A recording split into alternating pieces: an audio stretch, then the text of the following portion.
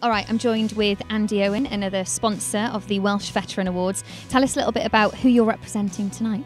Well, I'm representing the veterans. As, a, as an ex-veteran of the Welsh Guards, myself and the main man, Sean Molina, we go back probably 22 years.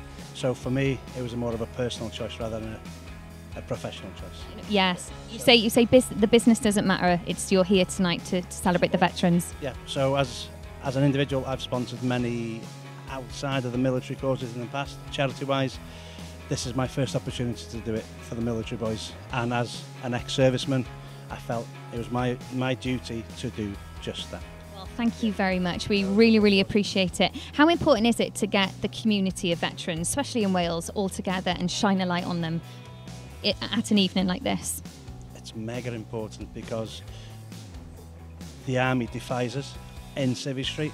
So what we do and what we learn in the army really makes a difference when we get out because there is a life outside the army, of course. And uh, I just think it's a, a massive, massive thing that bringing us all together. We can chat about the good old days and about going forward. So it's hugely important.